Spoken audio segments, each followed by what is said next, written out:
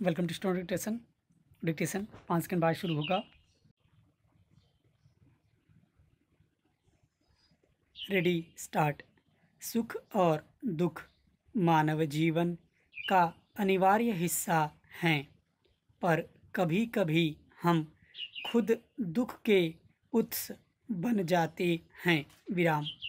परिजनों की मृत्यु का दुख या धंधा मंदा होना जीवन की नियमितता है विराम।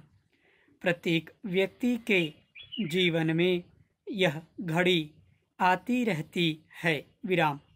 इसे जीवन के मोड़ की तरह ग्रहण करना चाहिए विराम।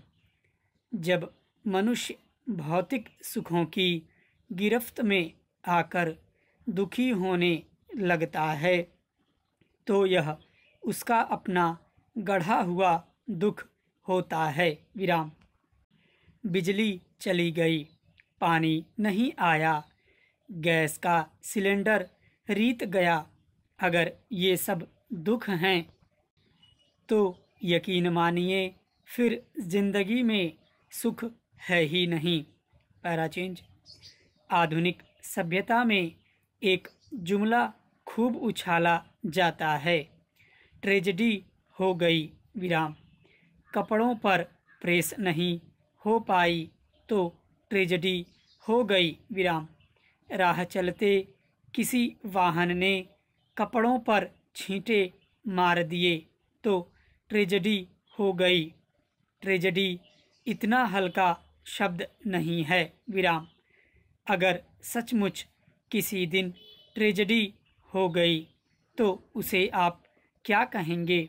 पैराचेंज दरअसल हम अपने सुख का घेरा अपने आप खींचते हैं, विराम। छोटी सी त्रिज्या लेकर वृत्त खींच लिया, फिर मान लेते हैं कि इस वृत्त के अंदर सुख है और इस वृत्त के बाहर दुख, विराम। हमें लगता है कि बिजली का न आना वृत्त से बाहर है विराम। मौसम का खराब होना वृत्त से बाहर है विराम। गाड़ी का समय पर न चलना वृत्त से बाहर है विराम। ऐसे में मन अशांत हो जाता है विराम। यह अशांति कृत्रिम होती है विराम।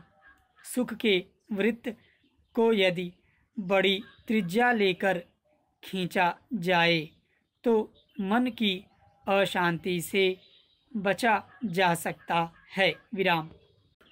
मौसम के खराब होने से लेकर हमारी भौतिक आवश्यकताओं में व्यवधान भी उस वृत्त के अंदर होने चाहिए विराम। यदि ऐसा करने में मनुष्य सफल हो जाता है। तो अशांति के कई कारण खुद ब खुद समाप्त हो जाएँगे। विराम। ऐसा होने पर मन में क्लेश नहीं होगा और अनावश्यक क्रोध से बचा जा सकता है। विराम। याद कीजिए, पूर्वजों को उनके लिए दो वक्त की सम्मानजनक रोटी और ऐस ऐसी विहीन गहरी नींद ही सुख की वजह थी। तो आज ही सुख के वृत्त को बड़ा बनाइए। स्टॉप।